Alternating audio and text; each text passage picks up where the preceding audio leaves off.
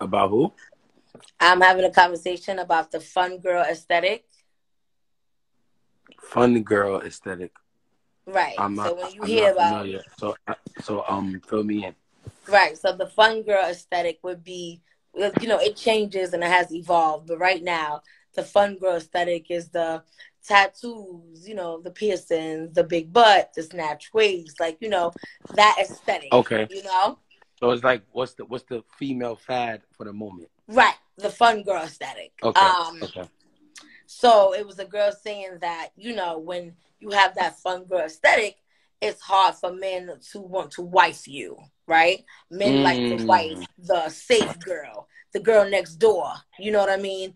Not the fun girl. Like, you know what I mean? They want to have fun with the fun girl, but they don't want to take the fun girl home to meet mommy, right? Yeah, facts. So I'm asking from a male's perspective, how do you feel about that? Do you feel like there's any truth to that? Do you feel like, you know, can can the fun girl be taken seriously? Is I- the fun girl wifey material? Let I feel like. I feel like um I feel like the like the stigma fun girl, like what you referring to, like the appearance, the like I don't think like that should determine if a person is worthy for to be wifed or not. Like I feel like that's just what's in right now. Like maybe like cuz I know a lot of girls who look like they easy but they're not. right. And that's you know what, what, I'm saying? So just because you look like I remember back when we were younger where girls that wasn't like that would cover up and the girls who were the girls who, who were they would be more freely with their dress code like for me like Wait, what's back up, when we was younger it was like Yo, what up? King, What's up? this is Paul. what- what's the word, this man? is King. Nah, I know, Paul. What's poppin'? yeah, Oh, that's the okay, word that's the cool. talk. Wait, so start over because my, my thing, my battery went out. What you were saying now, Paul? All right, so I feel like back in the days, girls who wasn't with it or wasn't the fun girls used to wear like more cover up kind of clothing, and the girls who were fun girls wore less clothing.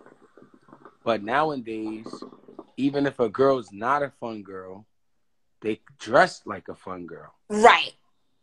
You know what I'm saying? So it's very confusing for somebody of our age who's used to, well, the girl with the big butt that didn't want to be hit on wore baggy sweatpants back then. Right. Nowadays, she got short where you can see the camel toe, but she not selling pussy. Like it don't make sense. You know?